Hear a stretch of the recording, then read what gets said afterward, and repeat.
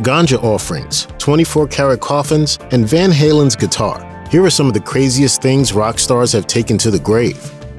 As the frontman of the iconic rock band Lynyrd Skynyrd, Ronnie Van Zant saw plenty of excitement in life, but his death, and weirdly his afterlife, have been even more chaotic. After their first two albums resulted in such massive hits, Freebird and Sweet Home Alabama, things went horribly wrong for Lynyrd Skynyrd. In 1977, a plane carrying the band and others crashed into a swamp near Mississippi. You can't even realize, seeing one of these things on television, exactly what a crash of this magnitude looks like. Ronnie Van Zant was among the casualties. In an interview with News 4 Jax in 2022, Ronnie's widow, Judy Van Zant, explained how difficult his sudden and unexpected death made planning the funeral, explaining that emotions were running high and decisions had to be made quickly. However, one decision that was apparently easy to make was burying Ronnie with his favorite fishing pole. While this was a lovely touch and made sense since Ronnie loved to fish, people have since made it a little weird, with many claiming to have seen his ghost carrying the pole walking to Lake Delancey. One thing Ronnie Van Zant was almost certainly not buried with, however, was a Neil Young t-shirt. This urban legend probably began because many thought the two musicians were feuding due to Young's comments about the American South. When Ronnie Van Zant's grave was vandalized in 2000, it was speculated that those responsible were trying to find out if the myth was true or not.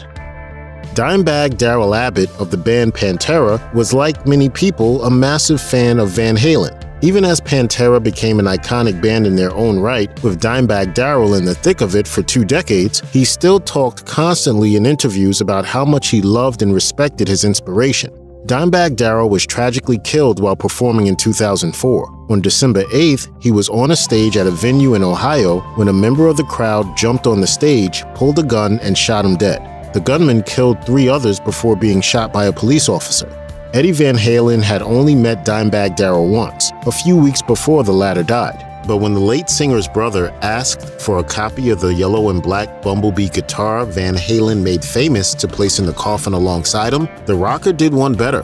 When Van Halen arrived for the memorial, he was carrying the actual guitar from the 1970s. His reasoning? In his words, an original should have an original. Van Halen didn't place the guitar in the casket himself, though, saying he preferred to remember Dimebag Darrell as he was on the occasion that they had met. Elvis Presley, the king of rock and roll, was a global phenomenon. However, during his last years, the conversation around Elvis turned to his physical appearance, which betrayed the fact that he was unwell. Still, his death in 1977 at the age of just 42 came as a shock to many. Perhaps unsurprisingly, Elvis in death was almost bigger than Elvis in life. By the time the king's body was returned to his Graceland estate from the hospital, thousands of people were already surrounding his home. Why did why go to all this trouble? Because we love Elvis. We still do. His father decided the public would be allowed to walk past Elvis's coffin, meaning he had to look his best. A BBC reporter was allowed in to see the body before everyone else, and decades later, he wrote in the Daily Mail that the rock star was dressed in a black suit and white cravat. The funeral director, Robert Kendall, later told the poignant story of how Elvis's daughter, the nine-year-old Lisa Marie, asked if she could place a thin bracelet in her father's coffin. He agreed and put it on Elvis's right wrist, as instructed by Lisa Marie. He then made sure to hide it under the rocker's sleeve cuff so that none of the thousands of fans who were about to walk past would be tempted to grab a memento. Bob Marley wasn't just an amazing musician, he was also arguably the first international superstar from a developing country. He and his band, the Wailers, sold tens of millions of albums and introduced reggae to the wider world. Exposure to Marley's music was also the first time many people learned about the Rastafarian religion. In 1977, doctors discovered a cancerous growth on Marley's toe.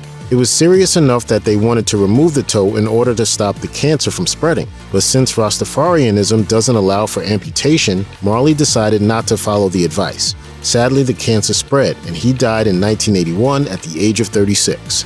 A music journalist who attended Marley's state funeral in Jamaica wrote decades later that it was more like a concert than anything else. Many people and groups performed, including the Wailers. He also mentioned that a Bible and a guitar lay in the coffin with Marley. During the funeral, his widow also placed a cannabis stalk on his body. While to many the association is just a cliche, the Rastafarian religion believes the Bible commands them to smoke ganja and uses marijuana in a number of rituals. Some other sources have claimed that a soccer ball was also placed in Marley's coffin and that he was wearing a lion ring given to him by an Ethiopian prince. The members of Kiss knew their fans would want to trumpet their membership in the Kiss Army even unto death, so the band did the logical thing and licensed a Kiss coffin. They also double as coolers. When he unveiled this infamous piece of merch in 2001, Gene Simmons said, This is the ultimate Kiss collectible. I love living, but this makes the alternative look pretty damn good. When he died in 2018, Vinnie Paul Abbott of the band Pantera was buried in one of these caskets. Even more meaningfully for the drummer and massive Kiss fan, the coffin was a gift from Gene Simmons and Paul Stanley. Nor was he the first member of Pantera or even the Abbott family to be buried in one of them. In 2004, Vinnie Paul's brother, Dimebag Darrell, had also been laid to rest in a Kiss coffin. Kiss guitarist Ace Frehley was not part of the coffin donation, and it came as quite a shock to him, especially since he was a participant in the funeral ceremony. Frehley told the Not Never Funny podcast, It was crazy because I had a speech planned and it went over perfectly. And then we get out to the cemetery and he's in a Kiss casket. Vinnie Paul got buried in a Kiss casket, and I see my face on the casket, and it weirded me out. While the families of many celebrities go to great lengths to keep the funerals of their famous loved ones private, that was not the case with Chuck Berry. In fact, images of the iconic musician in his coffin at his 2017 funeral are widely available online. The major event saw 1,000 mourners attend, and seemingly all of them took photos. However, this does make it very easy to confirm that Berry's coffin was modified to hold one of his Gibson guitars. Attached to the interior of the coffin lid, the head of the red guitar pointed towards Berry's feet, and the lid was deep enough that the coffin could close with the guitar in it. At least some guitar fans were appalled that Barry was buried with a guitar, however. In a 2017 thread in the Les Paul forums, one poster asked, Why bury him with a guitar at all? Any guitar associated with him for any extended time would fetch a nice premium at auction. Well, you can't please everyone. Chris Bell's name might not ring a bell to most people, but his band, Big Star, has achieved cult status since their 70s heyday. However, at the time, it wasn't clear they would ever make it big.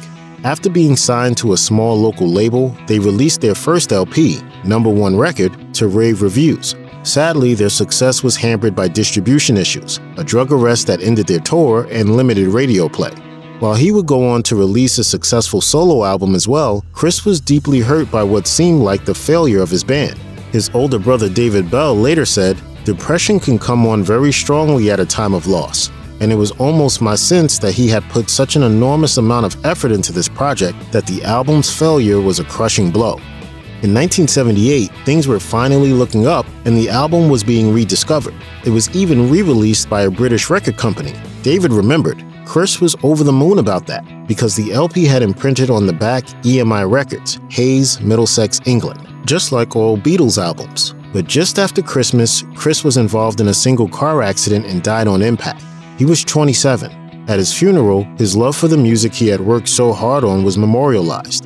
His sister Sarah made sure someone brought a vinyl copy of number one record to place in the coffin. The death of another rock musician was disclosed today. Jim Morrison, 27 years old, lead singer of The Doors.